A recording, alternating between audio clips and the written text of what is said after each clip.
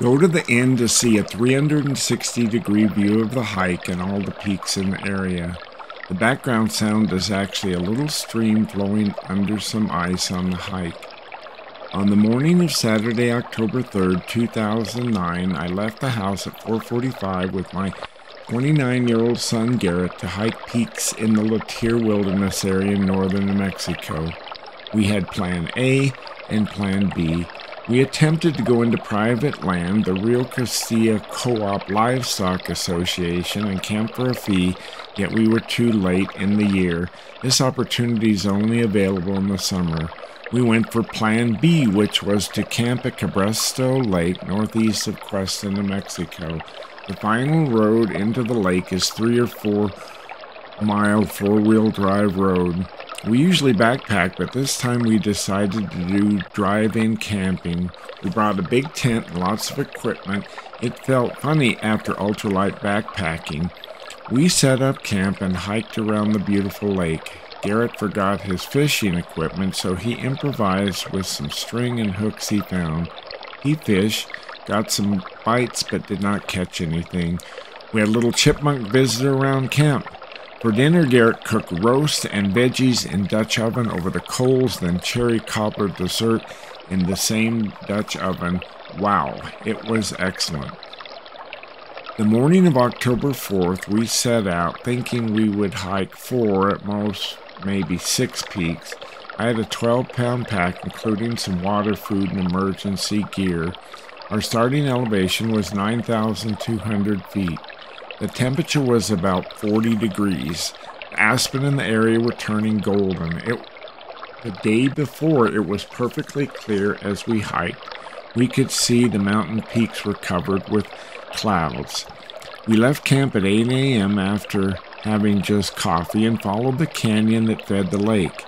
After a short distance, we entered the Latir Peak Wilderness area. Several miles up, we turned onto Bull Creek Trail and headed to Ridgeline. It was a fairly easy ascent. We reached the ridgeline at about noon after hiking 4.6 miles. A month ago, all the high alpine grasses would have been green and loaded with alpine wildflowers. Now, being so late in the season, the grasses were golden. I took a beautiful picture of a blue bird with full wing spread. The clouds had now mostly cleared out. The first peak we planned to hike was Venado Peak. I decided to hike the ridge line and do peak 12550. This is listed as an unmarked peak in the book Mountains of New Mexico by Mike Butterfield. I then did another unlisted peak very close by. It was 12,500 feet, small rock that you scrambled up. I then headed towards Venado Peak and arrived there at 145 after traveling 7 miles. The elevation of Venado Peak is 12,734 feet. The views were beautiful. We debated doing Virsylvia Peak but decided to do that another time. We descended the mountain and headed towards Cabresto.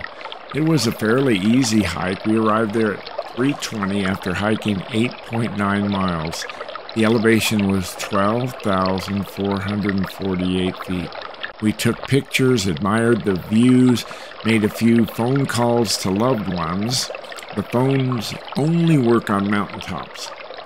I decided to hustle ahead of Garret and try to get an extra peak. Garret's knees were bothering him, so he planned to do just one more.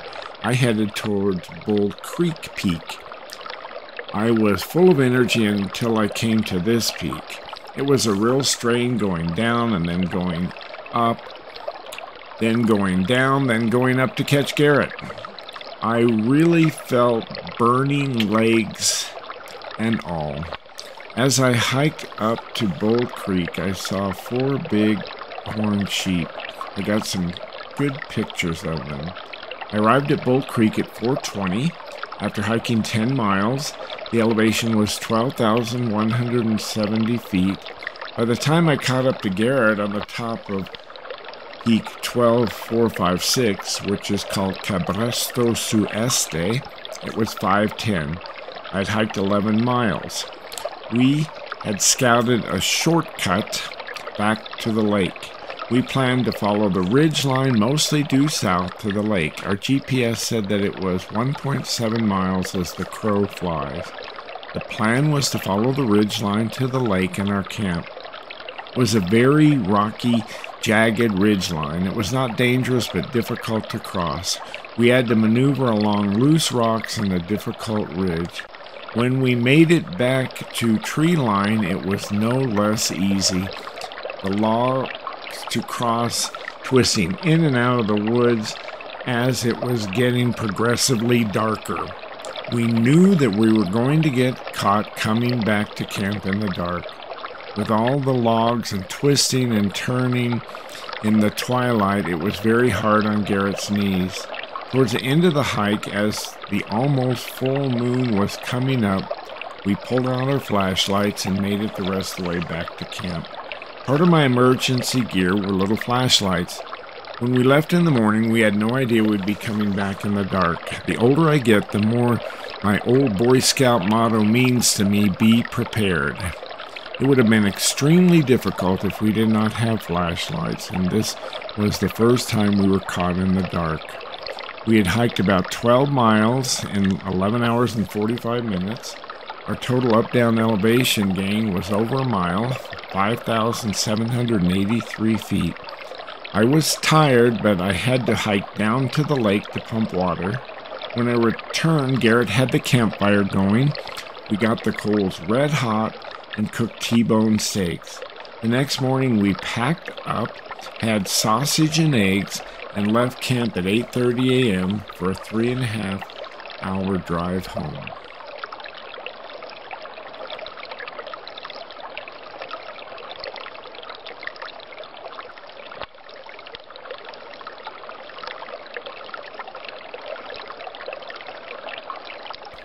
We made our way back in the darkness, but the true light of the darkness.